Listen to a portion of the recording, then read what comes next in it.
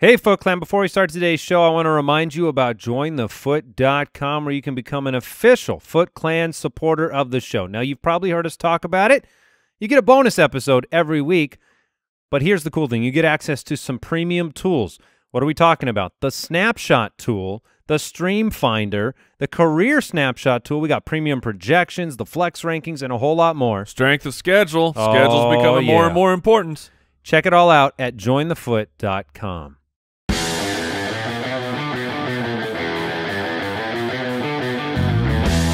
Welcome to the Fantasy Footballers Podcast with your hosts, Andy Holloway, Jason Moore, and Mike Wright.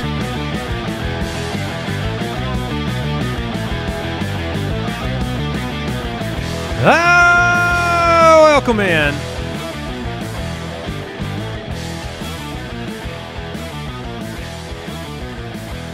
Andy, Mike, and Jason, the fantasy footballers, back with you Tuesday waiver show. Streaming quarterbacks on today's episode. Whew, some good ones. The Jets are still winless. They did give it their all. Now, let us let us say, let us say, or I I will say for myself. Sunday's game happened. It was the Tampa Bay Buccaneers, New Orleans Saints. It was supposed to be a just a battle of two juggernaut teams. Yeah, division trading lead. blows, just punching each other in the face, and we got uh, a giant versus a little baby lamb team. Right. It did not work out. It was super boring. Last night was a pretty good game, man. That was supposed to be It- trash, and it was awesome. It was very fun. You had uh, a little bit of everything. Damien Harris before he unfortunately left with an injury. He looked good. Sexy Rexy Goathead was making really unnecessary jukes all the time. This was like me playing Madden. And I hit the button too many times. Yes. Then, then Joe Flacco going deep. Yeah. Uh, Rashad Perriman. That, that was a fun game. A very fun game to watch. A good palate cleanser for what the Bucs left in there. Yeah, I mean, if you had just like flipped the jerseys right from Sunday night to Monday night, we, you would have got what you expected. Yeah, Down to and the wire last night. and that would have been much better for fantasy as well. I That's a don't, good I don't know how many people were, you know, say starting Jakobi Meyers. They should have. Yeah, I mean, he was uh, he did his best Richie James impression on Monday night. Uh, just an explosion of, and he's he's somebody moving forward that seems to be Yes. uh, a go-to receiver for Cam. He does, and Booty Scootin was back in action. Not so much scooting all over the field, but the two rushing touchdowns. His weird laser beam throw there. That He had one at the end where I think that thing it moved, it moved completely horizontal. There was no vertical adjustment in this ball. The camera couldn't even track it. It was Why so does it look crazy. so I don't difficult know. for him to throw the football? I don't know. It looks like he is in a tremendous pain when he throws. I feel like he's uh, doing. Ouch! I feel like when he drops back to pass and then he follows through with the pass, it's like how I would throw a javelin. Uh, it, it has like two jump steps with it. Like I'm like, yeah. But he got it done, man. I mean, he was for the most part very accurate. He And was yet- throwing short a lot. I mean, no, no. Stephon Gilmore made a big difference last night. yeah, I, I don't know if you know he he got it done. They they managed the clock. They won the game. They they probably shouldn't hold the parade for defeating the Jets on Monday Night Football by a last second field goal. No. It's probably more of an indictment on you know where the the Patriots really are right now. well, let's uh, for the Patriots. I'll say this. I mean, they're in they're in trouble still at three and five, but they came back and they won. And if you remember, two weeks ago when they were playing Buffalo, Cam Newton did fumble on a on a drive where I think they made it to the red zone and they were Oh, they were way in They field goal range. they were going to win the game, but unfortunately Cam fumbled. So they they are just a couple plays away from four and four, and a couple plays away from two and six. All right, we have a busy show today. Waivers to talk about, getting towards your fantasy playoffs. Speaking of which, there's a fantasy playoff primer episode tomorrow Oh yeah, that Brooks has been. You've been working pretty hard for once. Oh yeah, stepping it up this week. No, uh, that'll be a fun episode tomorrow. You can find us on Twitter at the FF Ballers. You heard me talk about it before the show. Join the JoinTheFoot.com is the fantasy football community. Uh, 18 18,000 strong over there. and you get the bonus episode each and every week. What else do we have going on? Anything else? Uh, Anything else from last night's game, fantasy wise? Takeaways. Denzel Mims um, led the team in targets. Breshad Perriman a couple of touchdowns. Both of these players were not on the field uh, in the beginning part of the year for the Jets. I know that we, you know, they're a punching bag of Right. sorts, and we haven't had a lot of options there. But Perriman brought in to do exactly what he did last night: be a deep threat. Had two touchdowns. Mims seems to be uh, more and more integrated into the offense, and Flacco seemed to be more willing to throw the ball deep than we've seen from Darnold.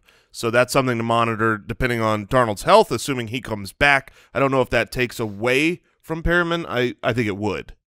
Yeah, it's chicken or egg, though, right? I mean, Darnold's been so prone to the short pass, but then you say, I would be too if I had Jamison Crowder and no outside receivers. That's fair. So, That's absolutely fair. all right. News time.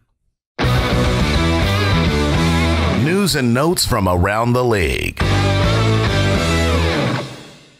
All right, Brandon Aiyuk, Deebo Samuel, good to go for Week Ten. Kendrick Bourne is back on the COVID list. Vance McDonald is on the COVID list. Deebo Samuel is still dealing with his hamstring. Good to go from a COVID perspective. Yes. I apologize. Yeah, you're right. Uh, and then Big Ben has been put on the close contact list as well. We saw this with several players last week. Most of them were able to play. Uh, the only ones that weren't, I think, were the Thursday night game where they had the short turnaround, Correct. uh, which was Brandon Aiyuk and Jamaal Williams. But Jamaal Williams activated as well. Christian McCaffrey is being listed as day to day right now. Oh, please. Oh, please be day to day. and Kenyan Drake is as well. And uh, I I'm gonna say right now, I don't think either player plays this weekend. So But they're my starting running backs for the league of record, Andy. both of them, Yeah, well, probably not. okay. Were All right. they were they were. Well, you can always uh, pivot to Kalen. But oh, you can't pivot to Kalen Ballage. Reverted to the practice squad on Monday. really? That's that. Is that so a good sign for Justin Jackson? Here's something that the NFL can do this year. We saw the same thing happen with Dez Bryant. They've allowed a couple of transactional moves where when you have a new player, you can move them to the practice squad, I believe, two times and then activate them for game day where no one else can sign them off your practice squad. So this is just a methodology that will allow them to essentially carry 54 players. Yeah, but I wouldn't read too much into it for Jackson just yet. Yeah. Uh, although you would think if a player was core to your game plan, he might not be on the practice squad. so there is that functional attribute. But uh, running backs of all players, less important to the equation in terms of. Uh, Yeah, You know. he was fine. yeah, he was. He, what was he? The running back four on one of the most pathetic running back weeks I've ever seen, fantasy scoring wise. I don't think I've ever. I, I I can't remember another week where there were two great running backs, and then basically the third best running back on the week is just, did you get a touchdown? Yeah. I mean, you're Jerick good. McKinnon was a top five back. Kalen Ballage was a top five back. I think Wayne Gallman was Yeah. was up there. Yeah. Which, when I looked at Wayne Gallman, I was like, oh, you scored this week, which was enough. Yep. So pretty incredible. Uh, Jake Luton, booty scooting Jake Luton, likely to start again in week 10 for Jacksonville. And it went okay. But this is the, the they have a matchup with the Packers, so we'll see how that goes. Yeah, that was a much different matchup. I last imagine week. they will uh, they will lose. That is that is my prediction. Whoa. Um, and then unfortunately Albert O. Mm. Broncos tight end. Yeah, torn ACL in week nine against the Falcons. That Disappointing. stinks. He, he's looked really good for a rookie in the times that Noah Fant has missed, and even when he's been out there, he's he's shown flashes. So that that's sad. All right, so we are going to get into the waivers now. Uh, before we do that, we we've had some curiosity here at the studio. uh, we we've you know sometimes we get in here in the morning, you know, and uh, it's darker out now, Yeah. and I know. I know Mike, you're not a morning person. No. you're not even an afternoon person. You're more of a well, you're just not a person at all. Well, now you're re- revealing my secrets. No, but you, you it's tougher to wake up. You guys are throwing the coffee back in the morning, and we made the joke. We're like, you should probably get some smelling salts because Mhm. you see them on the sidelines Oh, in the yeah. NFL games, and we are athletes of our own, right? Yes, we In are our own right. We are vocal athletes. So Al Borland has uh has acquired some smelling salts for us, and this is a pretty big waiver this is a really important show. Pretty big waiver Yeah, show. Get hyped. So uh, you should probably go to youtube.com slash the fantasy footballers. Now, what was the one review, Al, that you when you purchased these? You said you saw some reviews. What was the? They said they couldn't really describe it, but it, the best they could do was it's like snorting a lightning bolt. Okay, Okay. Uh, uh, which. I have not done. okay. So, um, I doubt they had either. you guys want to? You All guys right. want to get it? Yeah, Get Alan little- Borland, could you give Oh, us a oh, I, I snapped it. Oh, premature snap. Oh, that's not a premature Give us a give us a three count, Al. Holy! Ready? Three, Oh. two, Oh, one. oh, don't- oh, golly! Oh, moly. Oh, ride the lightning, baby. Let's go. It's waiver time. Put me in, coach.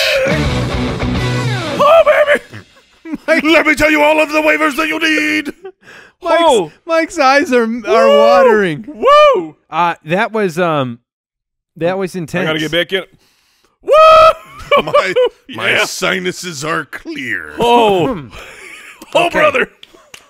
Well, that's why th- those do. Uh, it's a different experience than I expected. Yeah. It Not was- exactly potpourri. It was weird because at first it's like there's nothing Oh yeah, it didn't hit. and then it was like, oh, the inside of my skull's on fire. okay, I get it. Um, yeah. felt like a little man was doing jumping jacks in my nostrils. uh, so n- n- none of us have ever. Uh, never Done that before. That. No. and Mike, you mentioned that that it must be pretty effective if it can bring people that are passed out Yeah. back to life. Yes. And I agree. Um, have you Mm. have you tried that, Al? I mean, you bought them. I have not. No. Mm, give it a go sometime when you're. Feeling Tired. groggy. Well, are we prepared to inform the listenership on uh, Mike? Mike's eyeballs are out of his head. I head. feel I feel like Adam Gase. Oh goodness! All right, returning from the bye, the Browns, the Bengals, the Rams, the Eagles, heading to bye, Falcons, Cowboys, Chiefs, and the Jets. Oh, it's a sad week. No Patrick Mahomes, Kelce, Tyreek. All right, uh, we're into the waiver wire uh, picks of the week at the wide receiver position. So, who are your kind of headline guys heading into week nine? Who are you trying to pick up short term, long term? Uh, who do you have your eye on? I mean, Curtis Samuel's a name that's going to come up due to the past several weeks. I mean, he, he's technically the wide receiver 25 on the on the season. Uh, he's had a lot of involvement this past week, nine for 105 and one. And then with news that maybe McCaffrey misses another game, you might see some more of those carries in the backfield for Curtis Samuel. It's worked out. Yeah, I I don't know if this is the order I would go in, but I'm looking at our list, and so I'll, I'll throw out the names that are that jump out to me. Uh, Jalen Reagor, rookie wide receiver for the Philadelphia Eagles. He is he's back, and he is widely available, and has a stretch run here of the Giants, the Browns, Seattle. That's a pretty nice stretch over the next three weeks. Uh, and then you have the possible return of Deebo Samuel, wide receiver for the San Francisco 49ers. Really, really a wide receiver slash running back. He gets involved. Christian Kirk, I. I, I find myself it, I find it very difficult to really buy into what Christian Kirk has done. At least last week we saw some downfield stuff, and then Allen Lazard for the Green Bay Packers. He has been practicing now for a few weeks. Was on the IR. I think he comes back much sooner than later. Was great in those couple games. Uh, it looks like Aaron Rodgers has his mojo cooking.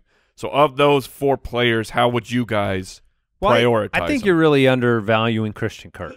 Yeah, I I, I agree. This What- is a player. Three straight weeks, he's been great, and, and, and we don't have problems, you know, kind of endorsing a second wide receiver for any of the top tier quarterbacks. And here's Christian Kirk. He's definitively the number two. He's scored five times in three weeks. He's got Buffalo, Seattle on the schedule. They don't have, you know, a real viable other option. I mean, Darnold or Arnold will catch a pass here or there. Fitzgerald here or there. Kirk is coming into his own, and this is two out of three weeks where he's had a long touchdown as well. So Yeah, the, the the two names that stick out to me as the clear cut uh, best pickups, or or the ones that I'm uh, most curious about sticking around long term, are Christian Kirk and Curtis Samuel. Amazingly, these guys have almost identical seasons. They both basically stunk the entire first four or five games, um, dealing with little injuries, and and then the last three games for each of them, the last four weeks, because both teams have had a bye in that stretch. They've been phenomenal. Literally over the last four weeks on a per game basis, Curtis Samuel's the wide receiver five, Christian Kirk's the wide receiver two. It's three games in a row. They're on fire, and those are the two I would pick up. But I, if I had a tie break between those two, I do look at the the situation and say Christian Kirk is the two. Yep. Larry Fitzgerald isn't going to do something where he's now the top 10 wide receiver for fantasy on a week um, over Christian Kirk, whereas the the three-headed monster with Robbie Anderson and DJ Moore, And the- it's really four-headed with the, the, the backfield because you're not throwing the ball to Edmonds or, or Drake, but you do throw the ball to McCaffrey. So I, I think I would put Kirk number one, especially with the schedule coming up. I don't believe that he is week in and week out reliable and he's just going to be awesome the way he's been the last three weeks, but I don't believe that about Curtis Samuel either. So The- Jalen Reagor is not in that list. That No, list he's he's the next tier down. I mean, so far Jalen Reagor has been okay, but I don't know. First of all, he's probably the two. I think Fulgham has established himself at least right now as the one, and then you're talking about a downgrade from, uh, you know, from Kyler Murray and what he's been slinging around in the pace of play to Carson Wentz, who is serviceable if you close your eyes. Yeah, that is the prescription for starting Carson Wentz. And I agree with everything you're saying. I think that makes Kirk. I mean, Kirk has had eight targets two weeks in a row. Kirk has a uh, historical rapport with with Kyler, and injuries have kind of derailed him from getting going. But you know that they look to him around the goal line as well. They have designed plays for him down there. I would uh, I'd put Kirk up there. I'm not. I, I hate to say this. I'm not buying the Samuel breakout. I'm not Hmm. at all. I think that this is um you know something where there's just too many mouths to feed and one week it's look we've seen the DJ Moore week we've seen Robbie Anderson weeks we Curtis Samuel is going to have uh he's going to Oh, disappoint some people. I mis I misunderstood you. I thought you were saying the Deebo Samuel. I'm in on. I'm agreeing with you that Curtis Samuel is. It It feels like it, chasing- It could it could keep going, but it if you look at the numbers and really what's happening here, it does feel like a bit of a mirage. Because okay, so back to when it really started happening for him in the past three weeks, six for forty eight. yep. Like 5 for 31. Okay, but he had a one. he had uh, one rushing attempt and he scored on that one. Okay, he turned it into a, a fine day. Four for thirty-one. Okay, well, but he scored and then he carried the ball three times and scored. It's touchdowns. This last week against Kansas City is the first time you saw any real Volume. real, real volume, real production. That wasn't just a uh, a Todd Gurley line, as I will refer to it this year, where they just they do nothing, but then they score, and it just it keeps happening. It could keep happening. I would Curtis trade him though. I would try to trade but him. I would try and trade Curtis Samuel as well if you got him. Jakobi Meyers has been impressive. I mean, when you have 12 catches on 14 targets and your offense is devoid of pass catching weapons, he's interesting. I mean, it was his 24th birthday last night. He's a player that if uh, if he's the go-to receiver, are you considering rostering Jakobi Meyers? No, I'm Oh, I I, am. I'm not for two reasons. One is the New York Jets. That's who they just played, and two is the Baltimore Ravens. That's who they're about to play. I don't know that what Cam is really doing offensively if his number one wide receiver is going to matter most weeks. There will be weeks where his number one wide receiver is fantasy relevant. Um, I don't project that to be the case with Baltimore and their defense that's been shutting people Do down. Do you think that Jakobi Meyers will have 10 targets this week? Uh, sure, maybe. I would I would take the under, but it would be eight eight or nine targets. But if those eight or nine targets turn into three for thirty six, I won't be surprised. Mike, are you playing Jakobi Meyers or are you playing Nelson Agholor? Who who do the Raiders play? Denver. Uh, Looking for a spot start at the wide receiver. between position. those two, I would probably go with Agholor, but I would you wanna- play Jalen Reagor over those two? Yes. Yeah, I would play Reagor over those two. I want to make the case here for the for Jakobi Meyers though. He was he he did nothing the beginning of the season. He was then actually in inactive uh on game day. Julian Edelman goes down. I mean, they have injuries throughout the entire team. Uh, Jakobi Meyers comes back, comes back to an 80% snap share, six targets. The next week against Buffalo, 98% of the of the snaps, 10 targets. 99% of the snaps, 14 targets. He is he has become the de facto number 1. It may not last the whole season, but I mean if you listen if you watch the game, you heard the the the blurb. They hope, the Patriots hope it's not season ending for Julian Edelman. That's not, not a ringing endorsement for a an old wide receiver who just had knee surgery. So I think Jakobi Meyers is worth the pickup. Maybe uh, maybe Jason's right. You don't want to play him against Baltimore, but Houston, Arizona, the Chargers. Uh, So after that, you got a really nice stretch here with Jakobi Meyers. Now, what is the timeline on N'Keal Harry? Do we have any expectation there? Because obviously, Let me ask you Julian this: Edelman. if, if N'Keal Harry is healthy, do you have any expectation for N'Keal Harry? N- uh, not, I don't have expectation for N'Keal Harry to be relevant, but I do think that N'Keal Harry coming back changes whether or not Jakobi Meyers getting 10 targets a game if you've got another big-bodied wide receiver that Cam would throw the ball to. That's all I'm saying. Not that not I want to pick up Harry, but that that could Fair. be part of what's going on. No N'Keal Harry, no uh, Julian Edelman. Now, uh, Julian Edelman is gone, so some of this is going to stick. But um, I I think we should talk a little bit more in depth about the person Andy brought up as would you play this person, which is Nelson Agholor. Nelson Agholor is who I should have taken for my taking it up to 100. I said him or Ruggs is going to get a touchdown. I picked I picked poorly. Um, but he's he's been really solid. Now, he's not getting the targets that you really love, but what targets he's getting are valuable. He's just been a touchdown machine, and I know you can't really rely on touchdowns, but Denver, Kansas City, Atlanta, the Jets, the next month is a pretty nice schedule, he seems like he's been the number one for Derek Carr. Are you guys interested in playing Agholor? Are you open to that? Would you bid on him? No, I wouldn't. I'm, I'm open to picking him up as a spot start, but Nelson Agholor to me is not a player that I'm burning any priority on Tuesday. I'm not putting any fab. Maybe I'll put a zero in on him, but to me, he feels like a player. Friday, I missed out on all my targets throughout the week, and then I go, okay, fine. Nelson Agholor, I'll pick you up and I'll throw you in the roster because no one else wants to play you. I agree with that. Allen Lazard should be back in week nine. If not week nine, it'll be uh, next week. Indianapolis, Indianapolis and Chicago are, are the two after this week. Jacksonville. Are you interested in the kind of just throwing them on the bench? It's tough because if he was active this week, the matchup is really good against Jacksonville. When we've seen Allen Lazard on the field, he's he's been good. He's been out there three games. He had three fantasy relevant performances, and obviously we know with what Aaron Rodgers is doing right now, he could support two wide receivers. So I am interested in Allen Lazard. Uh, he would be much higher up my list if I knew he was going to be active this week. Sure. If, if if that was the case, I would rather pick him up and play him over Nelson Agholor. My my top three then are Kirk. Uh, uh, I'll go Reagor next, and then Jakobi Meyers. So those would be my top three. You would have Jakobi Meyers ahead of Deebo?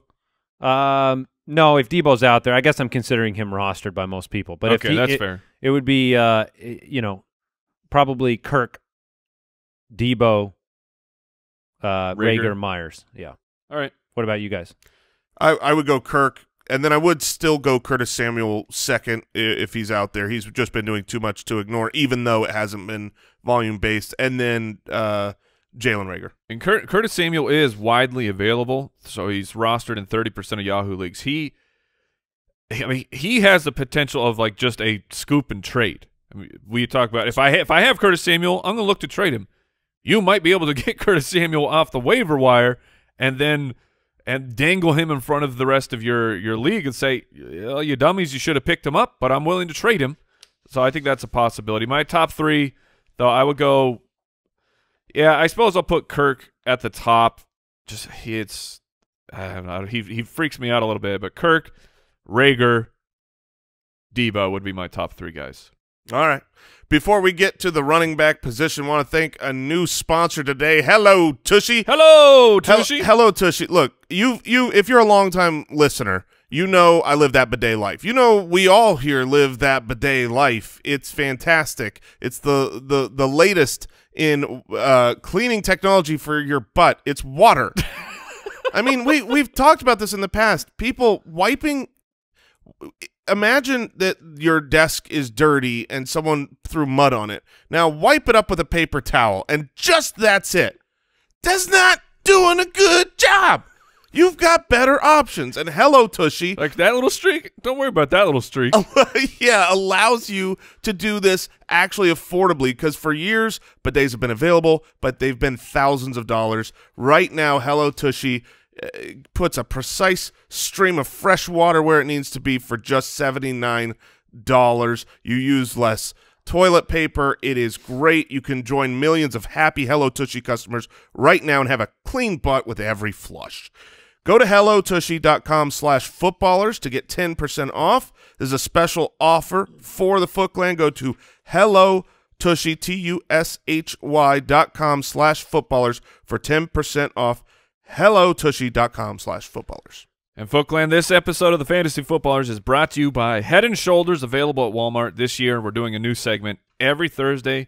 We're going to be picking our up to 100 players of the week. This week is a week to forget. uh, Andy had Robbie Anderson. Ended, ended up as the wide receiver 36. He's like right in the middle of a hit He ended up at 36? He had a With good nine game. catches. Wow. Yeah, nine receptions for 63 yards. I had Nelson Agholor, who went he had a great bomb touchdown. Uh, it- that's not what I have in my pen. Oh. the, the, the pen ink over here. What is- Jason, what does it say? Henry Ruggs. Oh, yeah. I mean, well, when you're looking at rugs, I was You know like, Jason's going to try to take credit. I was like, he takes his uh, credit right. to 100. Speaking of taking credit, I had Darnell Mooney from the Chicago Bears last week, who had um, 11 targets against the Tennessee Titans. that's taking it up to 100. How, how do you do? Five for 43. But my Feels like a tree in the forest situation with Nick Foles at quarterback, This is- right? like if it, this this is a the process seems very correct. maybe your process shouldn't involve Nick Foles. Look, maybe I over Estimated, uh, yeah. overestimated the value of Nick Foles. But hey, take your hair up to 100 with Head and Shoulders available at Walmart. Pick yours up today. Check out this Thursday's episode to hear our up to 100 picks of the week. All right, let's talk about the ever difficult running back position for the waiver wire this week. Uh, you know, in that category of probably rostered but worth checking. Remember Mike Davis? Mm-hmm. Please He's remember back. Mike Davis. He could be back to a full time role. Yeah, he was picked up everywhere, played everywhere. But going into this last week, I know leagues where uh, you know Chris McCaffrey was active. They had to make a roster move, and Mike Davis went to waivers. So check your waivers, even if you th- think he's rostered, because if he's out there, he's uh, the the guy to pick up. And then Zach Moss is another player that might be rostered, probably rostered, depending on your uh, platform. 53% in E ESPN leagues, 73% in Yahoo leagues. But as Arizona coming up and got into the end zone again this past week, had scored, I believe, twice the week before. Uh, it wasn't a, you know, impressive stat line, but he did take 56% of the snaps compared to Singletary's 45%. So he is a touchdown shot for your for your roster. Yep. I don't think you're going to get what you want without a touchdown though with him, with him. Agreed. All right, main waiver wire pickups for this week. You know, it's going to come down to, um, and I and I see this list that we've compiled, and I see a missing name, uh, so I'll bring him up as well. But you're looking at situations that you know players are dealing with injury, and can you take advantage of a start here or there? Uh, one of them to me is Joshua Kelly. If Justin Jackson's not back on the field, Mm-hmm. uh, Joshua Kelly is going to get a lot of snaps, and so you're going to have an opportunity there. He had 54% of snaps this past week. You know, eh, some people bring up Kalen Ballage. He's back on the practice squad. They they would call him back up, I'm sure, if Justin Jackson wasn't available. If I had to pick between Ballage and Kelly, though, I would still probably go Joshua Kelly. What's tough about making the decision between the two of them is it feels like the, the decision should be Joshua Kelly, but Kalen Ballage off the street was the one who received far more opportunities. He had 15 carries and three targets compared to Joshua Kelly's nine carries and five targets. So are are you really that sure? You when Sunday shows up, if they say Jackson is out, I'm Ekeler not. is still out, you would go Joshua Kelly. I'll, I'll get Jason's thoughts too, but I I have I'm not excited about any of them. I- to be I- honest, because I think Josh, I mean, Justin Jackson tried to come back into this game, You're going to deal with limited practices all week for him, and then you're going to be thinking about all three of these players against Miami's defense, which is number one in terms of like uh, giving up the fewest amount of points. And then you that last week they did have uh, they involved Pope in the running back committee as well. He had a concussion, so he, Right. he could be the one. That's that- why I think Ballage might not be a guaranteed call up. Yeah. I, I, I agree, agree. with you completely that he might not be. I, I think it's almost more based on Troymaine Pope. Um, if I had to pick one of these guys between uh, Ballage and Kelly, I still lean Ballage just because what I've seen from Kelly has been bad. Like yeah, he doesn't look good. Kelley's going to get opportunity, and I'm not going to start him because I don't think he can do anything with his opportunity. He hasn't done it after those first two weeks. He's looked really bad. So I, I you know, been there, done that type of thing. You at least have upside and hope and optimism with Kalen Ballage based on him looking better, running ahead of Joshua Kelley last week. But it is super risky. There is absolutely no guarantee that Kalen Ballage is even active for the game. That being said, if he is, oh, back to back revenge games. He's got Miami and All the right. Jets. Ballage doesn't even he doesn't stay on rosters long enough to need revenge. Um, I, I let me let me bring up the name though that I'm talking about. My number one right now, I'd pick up J.D. McKissic. If you're in a half, oh, Yeah, he's he's on the list. That was the name I was going to bring up next. That was the name on- I was going to bring up. but uh, so he's number one. But Yes. I, I say that because the number two situation, you know, everybody wants to make apologies for him. Everybody wants to talk about how great the schedule is for him, but nobody wants to carry that to its end. And we're talking about Jonathan Taylor and we're talking about Jordan Wilkins. If the schedule that everybody loves for Jonathan Taylor is so incredibly great, the player that Frank Reich trusts in the backfield is named Jordan Wilkins. It's not Jonathan Taylor. Jonathan Taylor for the second consecutive week had fewer opportunities in the backfield than Jordan Wilkins. He also fumbled, which turned into a uh, defensive touchdown, and then he well, pretty Philip much Rivers should have had him. pretty much Should have had the tackle there. didn't even see the field again after that. There has been a decline in confidence with Jonathan Taylor in the offense. And if uh, you put, you know, that together with the confidence of Jordan Wilkins, the production for Jordan Wilkins in the previous game, I'm telling you, like, there's no reason for Jordan Wilkins not to be rostered in the exact same amount of situations you'd roster Jonathan Taylor, other than the name problem. And this is one of those things that if you see through it, you look at the schedule, Jordan Wilkins could be the the predominant back for Indianapolis rest of season. And so I don't I don't know why you wouldn't add him to the roster. Yep. Yeah, I, I, I mean, I, I just don't see it the same way. I don't think it's just a name thing. I think it's a talent thing. I think you've seen that last week with the limited work, with the fumble where he didn't get back in. Uh, you know, Jonathan Taylor had a better fantasy week than Jordan Wilkins. Because he Because scored. because of touchdown. He scored a touchdown. I'm just saying the you watched the beginning of the game and it was all Jonathan Taylor, and then he fumbled and he barely got in the game it, again. wasn't uh, it, that's not true. It wasn't all Jonathan Taylor. Who was first up? Yes, Jonathan Taylor was first up. That doesn't make it all Jonathan Taylor. He had fewer opportunities, and the week before, Jordan Wilkins was 20 for 89 with the touchdown. So he was the number six running back. What he what happened that week? What happened that week was what you brought up with Philip Rivers saying that he was nicked up. And then they came out afterwards and said it happened. They didn't know about it till after the game.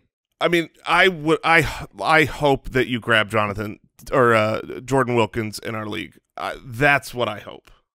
Uh, Well, I, I just think that Jordan Wilkins had. If you make a bunch of compelling cases for the the schedule for Indianapolis, and Jordan Wilkins receives more carries than Jonathan Taylor does, it seems very much a bias towards Jonathan Taylor's hype than it does opportunity. Here's The more time Jordan- we spend, the the more time you two spend arguing on Jonathan Taylor, is the more time I get to sit over here and pretend there's not a Clyde Edwards-Helaire problem.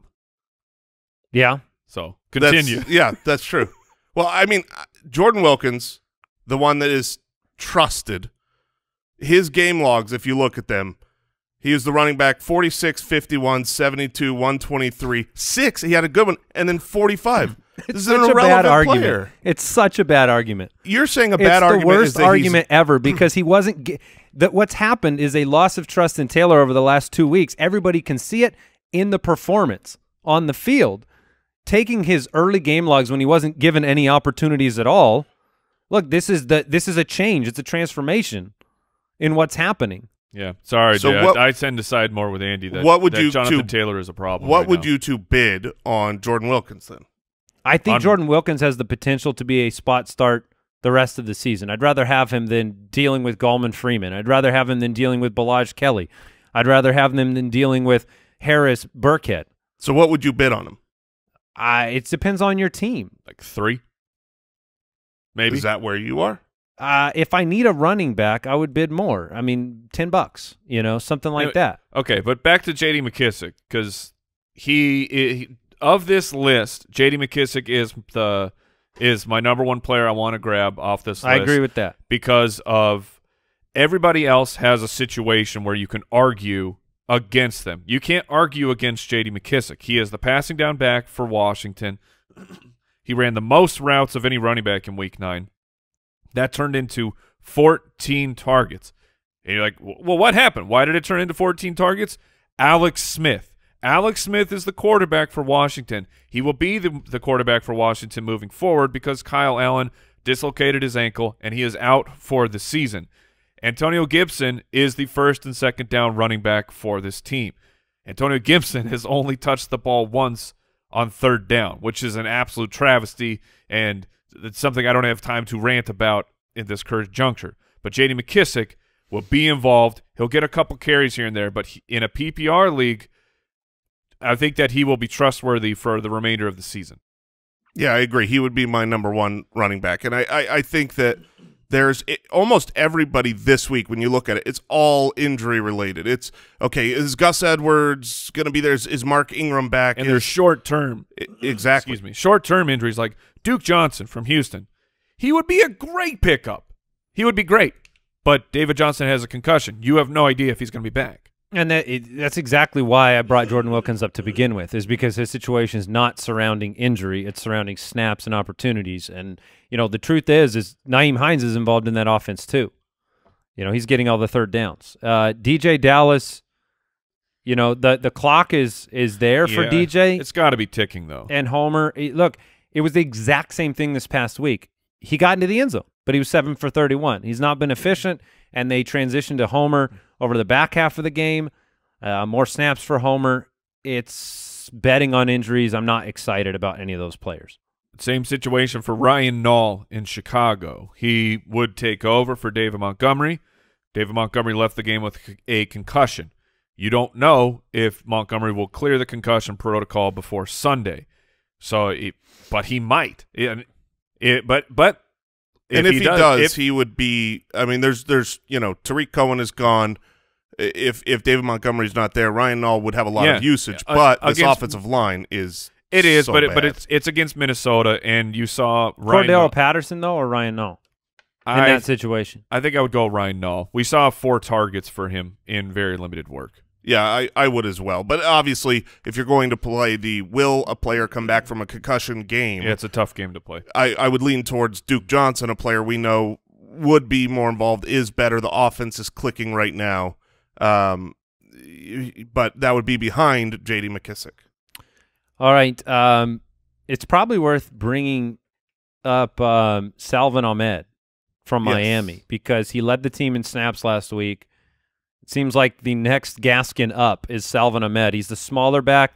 If you listened and watched this game, this entire offense is predicated on something that Jordan Howard can't do. That it's not all they hate Jordan Howard. It's just that his skill set does not fit what the offense needs to do, which is to get some of these running backs out on the edge.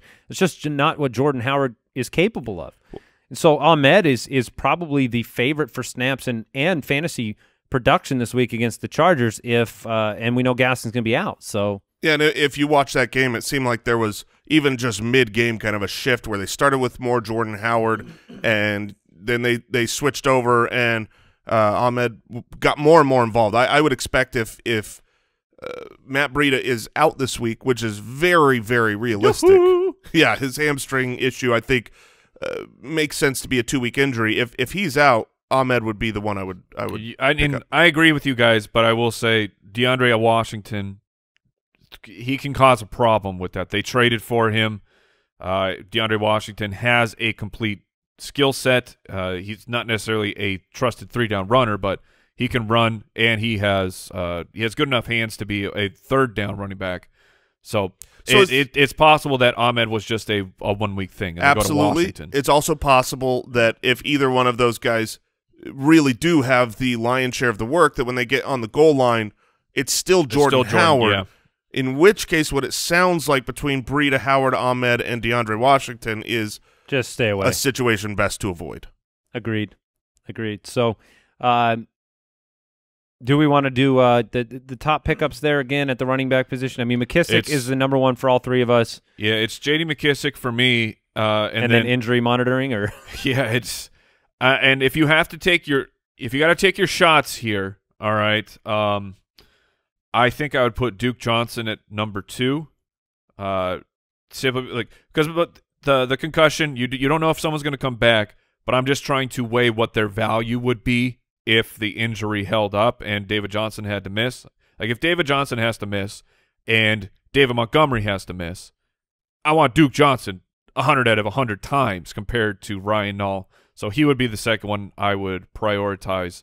Have you guys heard any info more, more information about Mark Ingram, Baltimore Ravens alleged starting running back, missed a couple weeks now with a foot injury. We still don't know if he's going to be back. No, I, I haven't heard anything. The timeline would say he could be back this week and could miss. It's, it's one of those very nebulous situations. Is Gus. Edwards involved in this? We don't. He should be picked up because you don't know who's going to be starting it. Yeah, I mean he's involved in a heavy run offense. He wasn't very good this last week. Um, He's the goal line back though. I don't I don't know that that's a guarantee. They've used you know they they've used J.K. Dobbins down there before uh, early in the year. Three three straight games with a rushing touchdown. I mean that's that's helpful.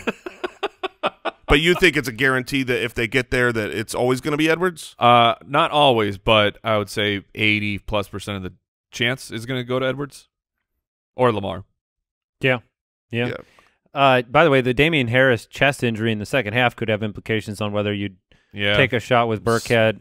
I mean, Sony could be back, unfortunately. if if Sony is not back and Damien misses time, then yes, you are correct. Rex Burkhead should be picked up. Even the the matchup is not great against Baltimore, but Rex Burkhead is uh he's a do it all running back, and they trust him around the goal line. All right, uh, tight end options this week. Who are your favorite waiver wire pickups if you are if you are looking towards the tight end position? So the the favorite pickups of the week are the two guys we highlighted last week that if your tight end position is really hurting, you need to pick these one of these two guys up, eat the bench spot for a week. Uh, uh, Austin Hooper, you might have even been able to get into your IR, so you didn't have to use an active bench spot. But Dallas Goedert from the Philadelphia Eagles and Austin Hooper from the Cleveland Browns, they're all, those are my two clear cut top options. Between the two of them, I pro but I probably prefer Hooper slightly just because we have seen we ha- we we have actual evidence of the target share rising each and every week that Austin Hooper uh, was involved, and now Yeah. he's back from his appendicitis. And you compound that with the loss of Odell Beckham. Sure. And yeah, Hooper has an arrow pointing up. I would put him ahead of Goedert, but those are the two clear pickups if they're available in your leagues. If not, Jimmy Grandpa is, you know, is still someone that you can. he's on the rocking eh. chair. He's just waiting for you to pick him up. we're watching the game, and Andy keeps pointing out how just they keep throwing the ball all game. It was it was little receptions for Jimmy Graham. He's got a divisional game coming up. I, I think he's fine. Okay, yeah, I, I have to decide between Jared Cook and Jimmy Graham to start this week, Ooh, that's fun. and that seems like a tough call with Michael Thomas coming back and and Emmanuel Sanders back and Jimmy Graham getting too much work. So Yeah. The only other name I personally would throw out would be Eric Ebron. Yes, yeah, Uh, yeah, yeah. Vance McDonald went on the, the, the COVID IR list, so he might be a little bit more alone. And Cincinnati this week, Jacksonville next week. Er- Eric Ebron is a very good pickup. All right, uh, some drop candidates though. If you're making these decisions for your waiver wire, let me bring up some names. Uh, DJ Moore, no. I'm not dropping DJ Moore. Hollywood Brown, Yeah, I You would be willing. You can drop him, yeah. Lev Bell. Yes. yes. What about Rojo? No, Yeah, I would not. I don't drop- think I'm dropping him. Okay, It's I. It's been terrible thus far, uh, but he's of the past two weeks where he's he has done nothing. He was still the starting running back. He got benched for fumbling, and then got game scripted out.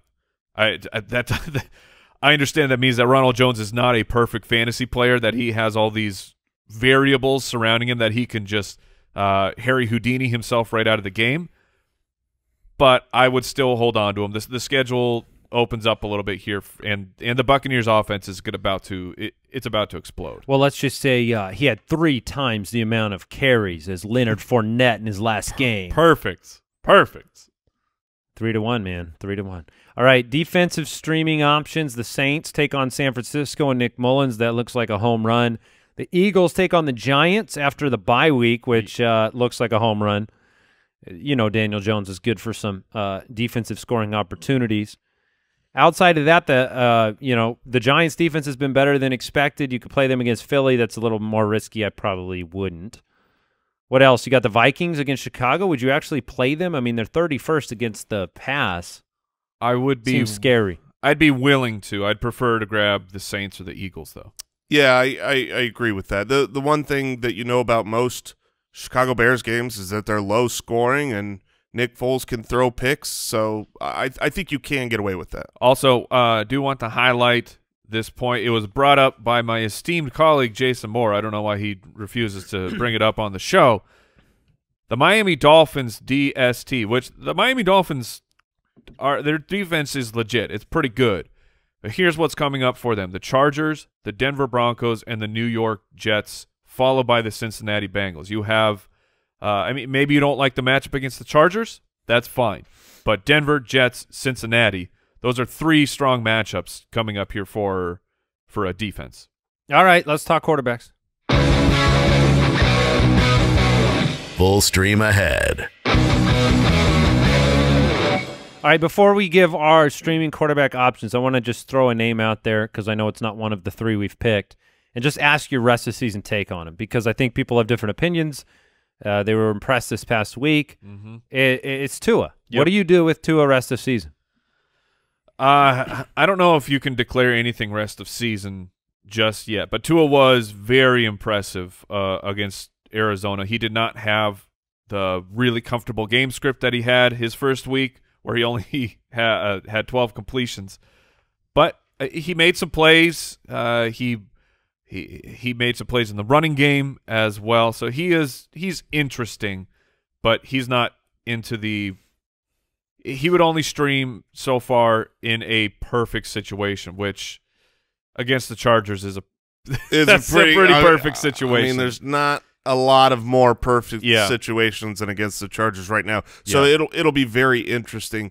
Th that being said, I think he played as well as I could have hoped for last week against the Cardinals. Uh, he kept scoring, and he was, you know, he was okay for fantasy. He didn't have a bad game. QB seventeen. Yeah, but he certainly didn't help you win your week. I, I actually wanted to bring up one other name um, that that I know is not in R three, but Baker Mayfield. Yes, I was really close between going with him or not against Houston this week. Baker, you know, I, I know it's so weird, but when Odell Beckham went down and all of a sudden he could just throw to whoever was open, he lit it up, then had the weather game, then the bye. So I'm gonna I'm keeping a close eye on Baker this week at Houston. I think if you, you know, if you're in a two quarterback league or, you know, Dude, you're scraping dude. the bottom of the barrel. check this out. Jake Luton. That's your argument right now for Baker Mayfield. Even guys like Jake Luton, right off the bench, can come in and make an impact against Houston. Yeah, I do worry about him. Uh, Chubb coming back, the dynamics of this offense. Even Baker's good games are kind of mediocre games. That but- was why I didn't go with him. Was I could see this game script being a, a, a run heavy team, but certainly going to keep my eyes on. all right. Uh, streaming quarterbacks this week. I'm going to go with Carson Wentz. Look, cover your eyes, let it happen. He's the quarterback 12 on the year. He's got Reagor back. He's got Goedert Oh. back. He's got the Giants this week, and they're bottom third against fantasy quarterbacks. It'll be okay if you need to wear a blindfold. Go ahead. Uh, we said this was going to happen even after the bad performance last week. We said we'd come back and probably recommend him as a streamer because he's sitting there on waiver wires, maybe as retribution for last week. But I'm going to go Wentz. All and, right, and when I saw Jason's I know. and he put me on blast last week about this player, I was shocked. Well, this is for all those Broncos fans out there. I'm going with Drew Lock. He, I, I, I, I've said it. He, he hasn't looked good in the beginning of these games, but he's heating up. I mean, he's had two great matchups in a row.